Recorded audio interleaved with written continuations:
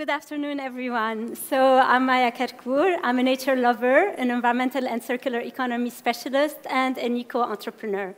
But I'm not here today to talk about my personal journey, rather about how innovation and technology can act as catalysts for green entrepreneurship. Indeed, today, to solve our pressing environmental challenges from climate change to biodiversity and habitat loss, to water shortages, to pollution, we need to reimagine how our world can function completely differently. From smart eco design solutions to regenerative practices to circular business models. And it is not just about um, resorting to renewable energy or recycling. Of course, they are both very important and part of the equation. However, there are many other solutions that we can adopt in our green transition, and we're going to hear about some of them today. So to give, uh, to put things into context, uh, I don't know if you knew that uh, today the global green technology and sustainability market has been evaluated at $16.5 billion last year, with an estimated aggregated growth rate of almost 20% up to 2032. So there is a lot of potential for green enterprises to actually establish and flourish, whether in our region or internationally. Uh, just, uh, I would like to highlight that sustainable innovation is not just about inventing new inventions or uh, relying on high, uh, the highest technologies. It could be about uh, new, uh, innovative ways of delivering our products and services, circular business models. Um, it could be about solutions that are low tech but are redesigning the way we, we consume and produce in a more meaningful way with less environmental impact and less social impact. So I will be giving you examples of such solutions, a glimpse of them with the short time that we have, starting with uh, no-tech green innovations.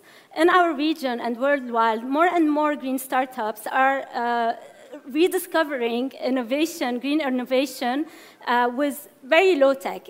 Good examples are uh, startups that are um, going back to vintage, second-hand goods and products and clothes and working on making them the new tendance, uh, creating the right climate, the right perceptions, changing mentalities towards second-hand, refurbished, high-quality goods.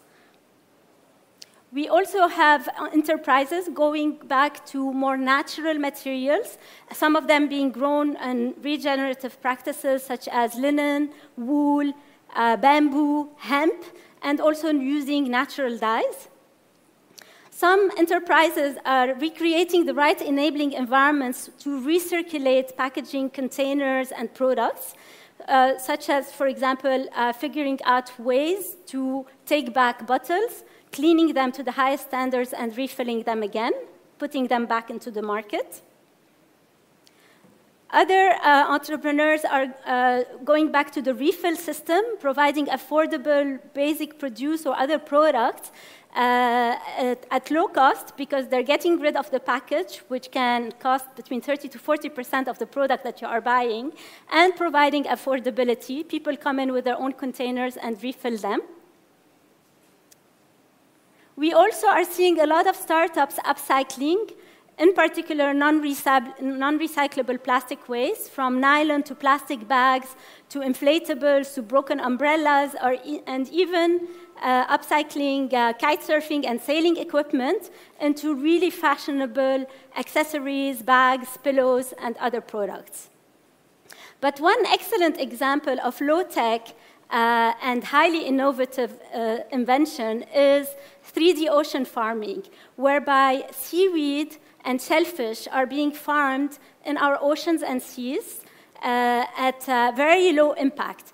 So that means that seaweed and shellfish such as mussels, uh, oysters, and clams are farmed in the open sea or oceans. And the advantage of this is that the growing seaweed actually has an enormous capacity to capture CO2 emissions, but also to create uh, algae farms that attract fish and other animal life uh, in the sea. And this requires almost zero input, no fertilizers, no uh, synthetic chemicals, and so on and providing highly nutrition, nutritious food and jobs. This is currently being scaled up in the Northern Sea and many seas around the world. Moving to low-tech green innovation, this could be, for instance, by using regenerative materials or identifying and turning waste into valuable new materials. An example here is uh, oyster shell waste that is uh, coming from restaurants and fisheries and being transformed into construction materials, from bricks to tiles to even uh, lime-based natural reflective paint. A great example comes from Egypt, Chitosan. Any of you heard about Chitosan? Yes? So Chitosan is an Egyptian uh, enterprise that is transforming shrimp shells waste into an organic biofertilizer and biopesticide with the potential soon to, for biomedical and cosmetic usage while empowering uh, local uh, women, rural areas, uh, uh and creating new jobs. Um, we are also innovating from all kinds of waste. An excellent example here is uh, fallen leaves from trees, you know, the autumn leaves that are being collected and transformed into paper products, such as these paper bags or cardboards, uh, cardboards without the need for felling any tree or cutting any tree. We also have sustainable chemists, which are using natural ingredients, but also uh, biodegradable ingredients to produce green cleaning products and non-harmful eco-friendly cosmetics that are also biodegradable and do not pollute our water, our soil, and our health. Reverse engineering is being used to bring back some materials to their, or products to their original material, such as these discarded tires that become afterwards, again, synthetic rubber that can be put back on the market and manufactured again uh, for other uh, rubber products on the market. We are also seeing enterprises substituting plastic and foam packaging by reusing agricultural waste, such as wheat straw, for example, banana waste, into packaging, mycelium as a regenerative material, also into compostable, biodegradable packaging. And here we have sound insulation that is being uh, produced from mycelium uh, which is the mushroom roots, uh, in order to produce non-synthetic um, sound insulation. Some bigger companies are also relying on natural materials uh, to redesign their products, such as these shoes, but also working ethically in a fair trade manner with the producers or the suppliers. And other bigger companies are completely reviewing how they are designing their products, such as these shoes being redesigned so that they can be disassembled, and every single material can be, at, at the end of the life of the shoe, either reused or at least sent to recycling. Moving to tech-enabled green enterprises, as you know today with uh, our new technologies such as QR coding, such as AI, such as online databases, uh, GPS tracking, we are able uh, to create many new business models relying on this, these affordable uh, technologies. And we are seeing a lot of them in our region and internationally, uh, creating new circular business models uh, good examples are these uh, applications that allow for buying and selling your second-hand clothes or products. Others are allowing uh, to put in consignment uh, luxury goods, uh, second-hand, vintage, so that people sell them instead of throwing them and they have a new value on the market. We also have a lot of applications that are allowing the households and the offices to sort properly. So they teach them how to sort properly, what is recyclable, what is not. And they use a gamification process whereby they get rewards or discounts the more they send uh, products that are properly sorted to recycling. They are also using AI-enabled smart bins to recognize the different types of recyclable and making the recycling process more efficient and less costly. We also have subscription models, such as these e-bikes, electric bikes, which are not sold. People have to rent them on a monthly basis, and the advantage of this is that the suppliers have ownership for these bikes, meaning that they have an incentive to keep them as durable as possible, to maintain them, to keep them uh, being used continuously at their highest quality. And on top of that, uh, they are coupled with an application that tells the user how much CO2 emissions they have been avoiding by using the e-bike instead of a conventional car. So again, providing these incentives and behavioral changes. We are also seeing uh, some uh, new models to get rid of uh, disposable containers. So thanks to uh, QR codes and other types of tracking, containers that are reusable are cleaned, working with a pool of uh, restaurants and cafes, and being put back on the market for food deliveries and uh, restaurant deliveries. 3D fabrication, digital fabrication, is also allowing to produce with the least waste possible, exactly to the, stand, the size and the, and the needs of the products, but also using sustainable materials and recyclable materials, such as plastic coming from these water gallons that are being transformed into high-end design products or other types of products. While also fashion designers are uh, 3D printing uh, clothes to oops, sorry, clothes are customized to the fit and taste of their customers, meaning that the clients will have a higher incentive to wear them and to keep them longer with the least waste possible.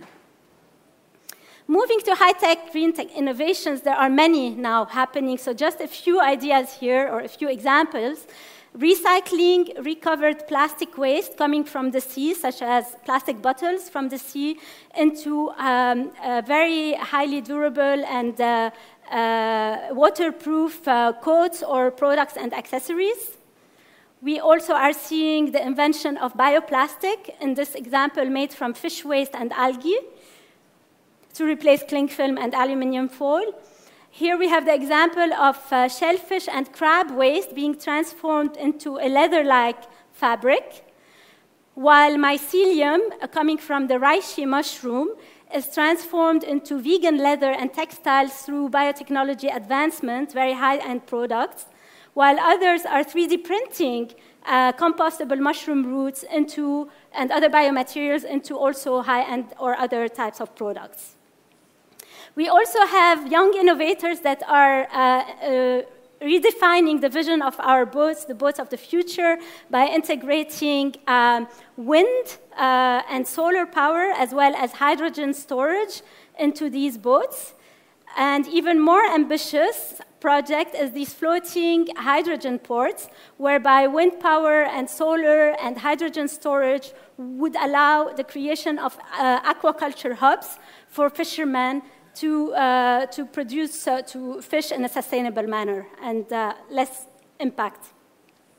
And finally, the last example is in our uh, need today to feed the world with uh, proteins, a growing population with protein, some startups and, uh, and companies are experimenting with cellular agriculture using a precision fermentation process that is allowing to grow um, a flour uh, from microbes into in labs and to have high quality proteins. Other startups or enterprises are now putting on the market cultivated meat uh, by taking a sample of the animal cell, the highest quality uh, uh cell, animal cell, and lab growing it in a bioreactor to have meat, basically. So I hope that I give, have given you uh, an idea of the spectrum of possibilities from low tech to high tech innovation into sustainability, into sustainable solutions. Uh, I recently heard someone saying waste is a lack of imagination. And the more I think about it, the more I think this could be true if we are to completely redesign our world, the way we are creating our products, to think that every single, ty single type of waste can actually be revalorized into a precious new material, become something new, and to use natural materials, biodegradable, regenerative practices, we could ultimately uh, do, uh, get to this green transition that we, uh, at least here, are all dreaming about. Thank you, everybody.